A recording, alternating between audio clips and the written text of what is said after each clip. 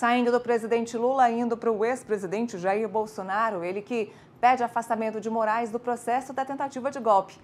A defesa que envia uma petição ao Supremo Tribunal Federal, uh, Luiz Roberto Barroso, defesa de Bolsonaro, pede que ministro Alexandre de Moraes deixe relatoria. Essa petição foi enviada então a Barroso, pedindo que Alexandre de Moraes, que é o relator desse caso, deixe essa petição. A gente viu por várias vezes os parlamentares de direita alegando que Alexandre de Moraes, por ser vítima dessa história dos ataques golpistas, da invasão do 8 de janeiro, não deveria estar à frente dessa ação, dessa relatoria dos atos golpistas. Então, a defesa de Jair Bolsonaro, que acabou impetrando então essa ação, pedindo que Alexandre de Moraes deixe as investigações sobre essa suposta narrativa golpista promovida pela cúpula de aliados do ex-presidente Jair Bolsonaro.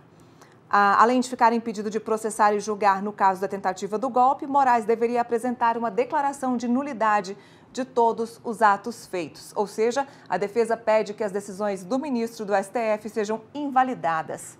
Caso o pedido seja aceito, isso significa que o ato nunca tivesse ocorrido no âmbito jurídico, uma vez que não produz efeitos legais. Defesa de Bolsonaro alega ligação de Moraes com o caso.